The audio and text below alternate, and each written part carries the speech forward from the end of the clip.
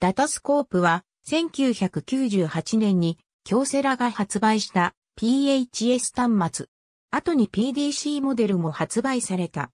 320-200ドットのモノクロ液晶画面を持ち、ユーザーアプリケーションを登録できるなど、スマートフォンの走りと考えられている。二つ折りタイプ。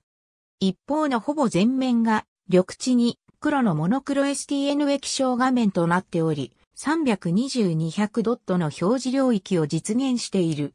もう一方はキーボードでカバーを外すとタイプ2の PC カードとなり、ノート PC 等に直接接続できる。この形状は開発のベースとなった IBM のチップカード VW-200 と共通しているが、厚みや重量は大幅に異なる。サイズは 55-108-27mm で、重量は 175g。1998年当時の基準で見ても、PHS 端末としては破格の大きさである。PHS 音声通信が可能である。公衆モードのほか、室内モードとトランシーバーモード、それらの自動切り替えモードをサポートしている。データ通信は PC カード型のモデムとして使う形態と DS-110 単体でパソコン通信に接続する形態がある。当初単体では TCP、IP に未対応。発売当初は 2400bps みなし音声のみだった。PIAFS には別売りソフトウェアで対応したが、当初は DS-110 のハードウェアでは処理が追いつかないとして、モデムとしての使用時にノート PC の CPU で PIAFS 処理を行う方式のため、専用のデバイスドライバーを使う必要があった。後に DS-110 の CPU だけで実現できるようになり、単体使用時も PIAFS 通信が可能となった。また、モデムとして使用する際も、標準モデムのインターフェースで PIAFS を提供できるようになり、専用のドライバが提供されない OS からも使用できるようになっている。別売りでアルファデータ用アダプタが提供された。これを接続することで DDI ポケット独自の通信方式であるアルファデータに対応した。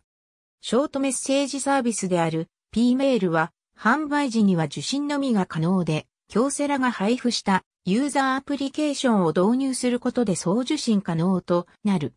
後継規格であるライトメールには対応していない。DS-110 と同様 PHS 端末である。データ通信において 2400bps みなし、音声が廃止され、PIAFS と α データが標準搭載された。通信方式を NTT ドコモの 9600bps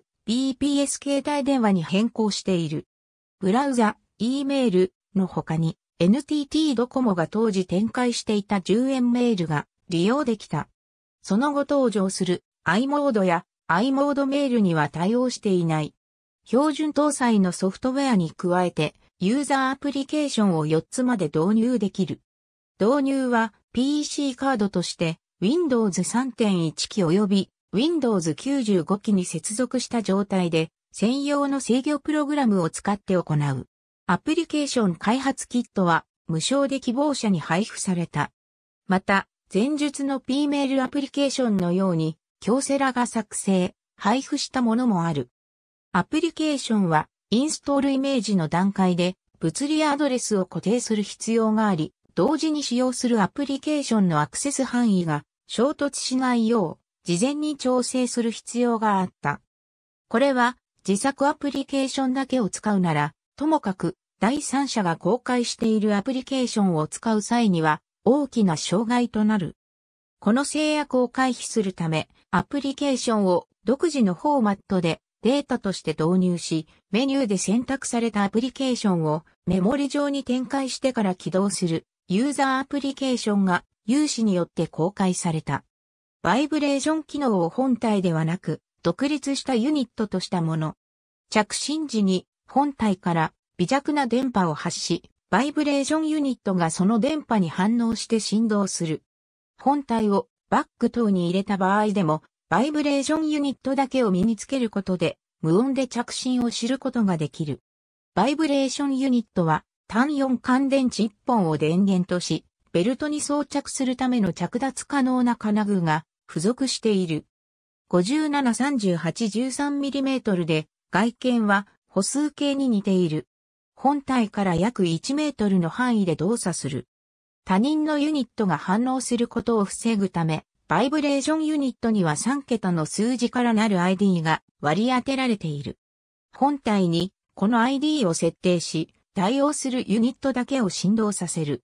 当時の京セラ製 PHS、携帯電話端末で標準装備されていた。ダタスコープ全モデルでも採用されており、4、ドコモのものは若干形状が異なる。本体には振動する機能がないので、このユニットを紛失した場合は、バイブレーション機能を使えない。ありがとうございます。